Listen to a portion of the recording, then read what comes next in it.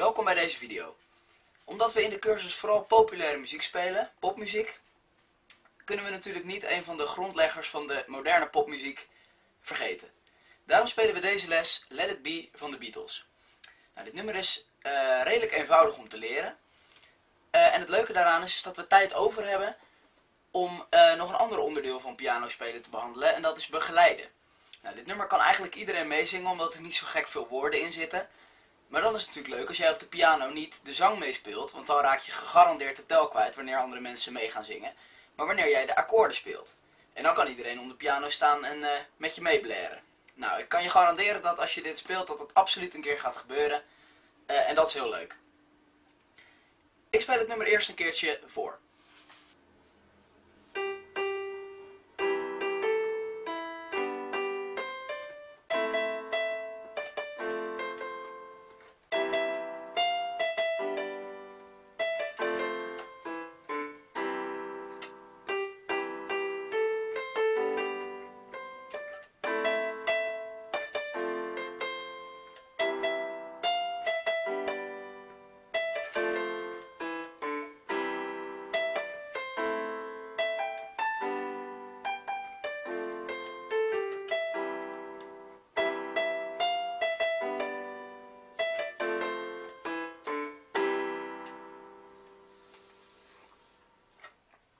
En ditzelfde stuk herhaalt zich nog een aantal keer en dat vormt het gehele nummer. Er verandert verder niets aan de noten en niets aan de akkoorden. Dus ik ga je gewoon het bovenste gedeelte uitleggen. We beginnen bij de eerste regel en dan beginnen we met de tweede vinger op de G. En dan noemen we de eerste G rest naast de centrale C.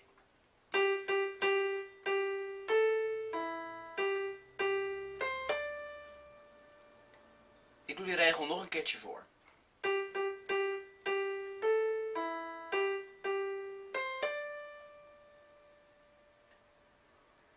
Dan de tweede regel. Dus let erop dat je die E met je derde vinger pakt. Dan de derde regel.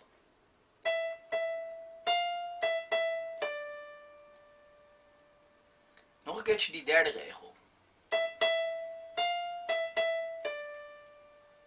En dan de vierde regel. Dus je ziet waarom het belangrijk is dat je dat overstapje maakt en met je derde vinger die E pakt. Anders dan kom je niet uit en dan moet je heel veel gaan schuiven. Ik doe dat uh, eerste gedeelte nu met de akkoorden erbij. Dus je begint met je tweede vinger op de G.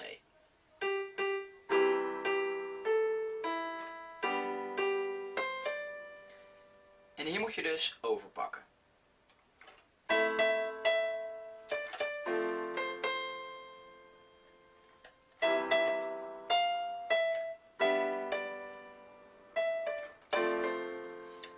En daarna zie je nog een E, een D en een C staan. Nou, we spelen niet alle drie akkoorden, maar we doen bij de E en de D doen we met onze vijfde vinger. En daarna doen we het C-akkoord.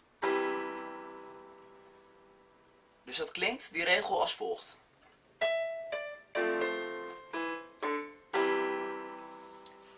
En daarna ga je door met de vijfde regel. Ik doe nu die vijfde regel voor en dan begin ik met mijn rechterhand.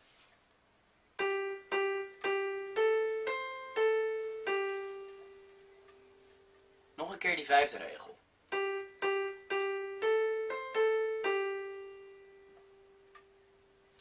Dan de zesde regel. Dus dan pak je met je eerste vinger de C.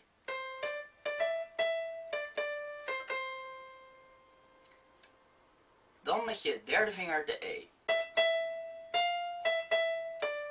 Dat komt weer bekend voor van een paar regels naar boven. En dan de laatste. En dat is ook weer hetzelfde. Dus eigenlijk zie je dat er maar één regel anders is. En dat is And in my hour of darkness. Ik speel uh, het hele couplet nu nog een keertje met de akkoorden erbij. Zodat je kunt zien hoe dat gaat.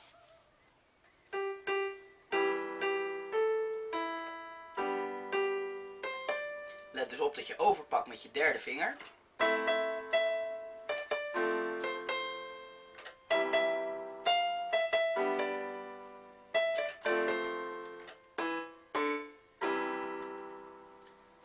Dan ga je dus weer naar de G.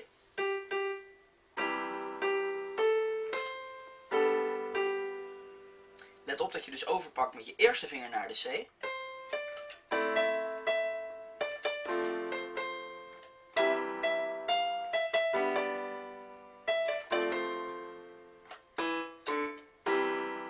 En dat is het couplet. Nou, je ziet er zit veel herhaling in. En dit moet je dus redelijk snel onder de knie kunnen krijgen. Dan gaan we verder met het refrein. Je begint met je derde vinger op de E.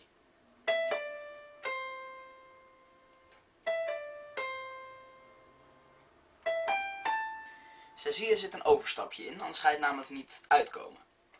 Als je begint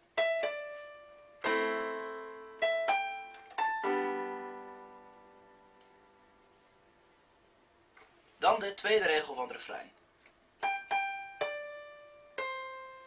Dus dan ga je met je vierde vinger op de G. 2 naar de D. C. Dan ga je er overheen met je derde vinger naar de A. G. En dan spring je naar de E. Nou, dat is even een lastig stukje. En dat is denk ik ook het lastigste stukje van het hele nummer.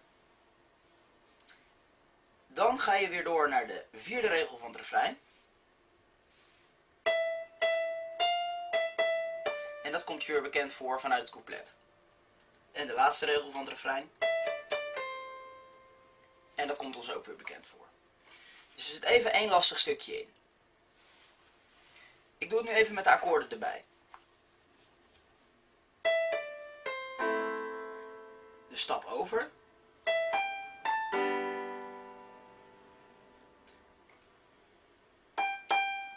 Stap hier weer over. Eroverheen. En dan met je vijfde vinger pak je de E. En dan is het je vijfde vinger, maar die pak je over met je derde. En dat is weer bekend terrein. En dat kun je gewoon drie keer herhalen en dan heb je het volledige nummer. Wanneer je begeleidt op de piano, gebruik je je rechterhand om akkoorden mee te spelen in plaats van je linkerhand. Zo is heel leuk, daar gaan we even wat verandering in brengen. Je zou natuurlijk het nummer alleen al kunnen begeleiden door gewoon met je rechterhand de akkoorden te spelen.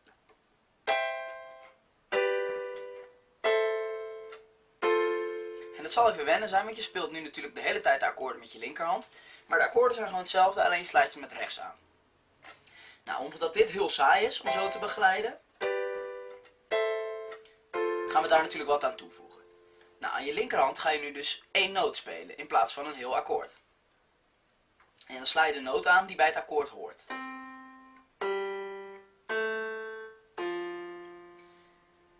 Op dat moment hebben we dus dit.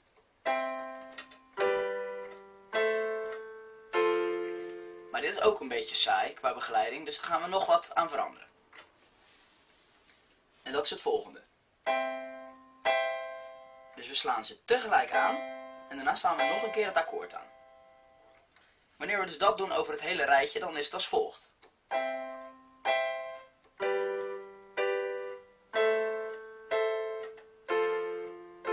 En dat is wel leuker.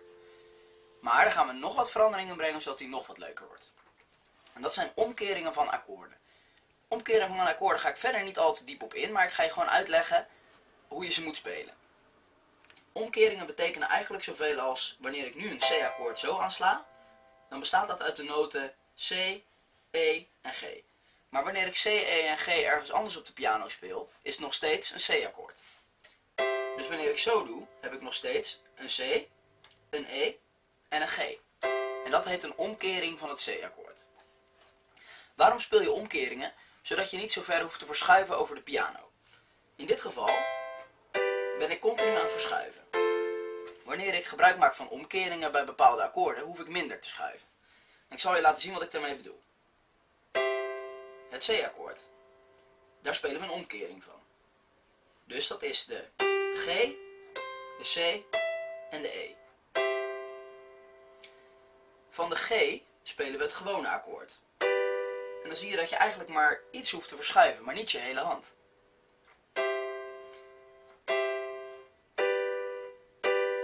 Van de A mineur gaan we ook een omkering spelen. De A mineur omkering is als volgt. Dus dat is een D, sorry, een E, een A en een C. En dat is hetzelfde als wanneer we het normale akkoord spelen. Want dan hebben we namelijk ook een A, een C en een E. Alleen in een andere volgorde.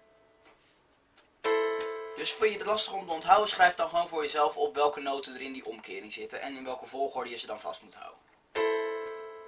En de F spelen we weer normaal. Dan zie je dat we weer weinig hoeven te verschuiven. Nou, wanneer we die dingen nou met elkaar combineren, dan krijgen we het volgende.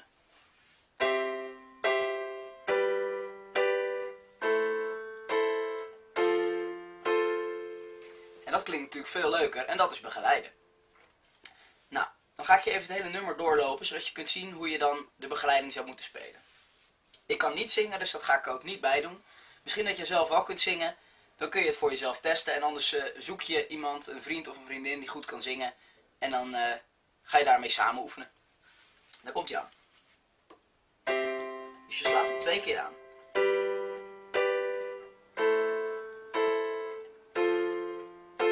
En dat kun je aanpassen aan het tempo van de zang.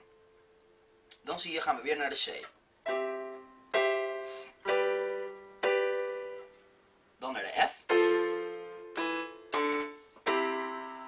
dan sla je die tegelijk aan.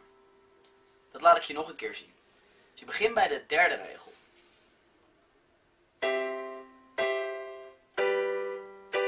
Dan een F. Dus die F sla je maar één keer aan. En dan ga je weer door naar het volgende stuk en daar ga je weer met een C beginnen.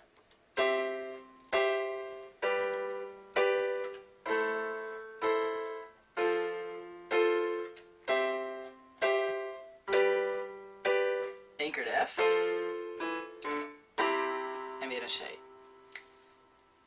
En dan in het refrein zie je uh, dat we met de A mineur beginnen en daar spelen we dus de omkering van. Dan een G, die spelen we normaal. Een F spelen we ook normaal.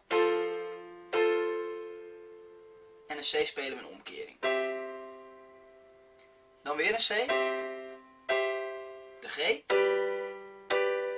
Een F. En dan zijn we rond. Nou, schrijf voor jezelf op wat je nodig vindt uh, om dit te kunnen onthouden.